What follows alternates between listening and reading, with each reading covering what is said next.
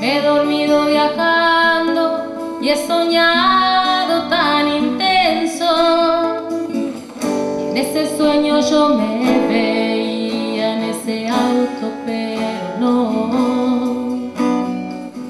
No era el mismo porque estaba todo roto en su interior. Ese paisaje está